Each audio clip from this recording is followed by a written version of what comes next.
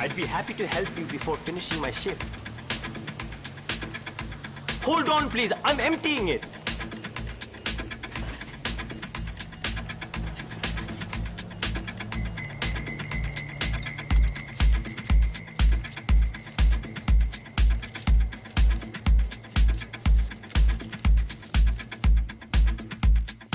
I really need to get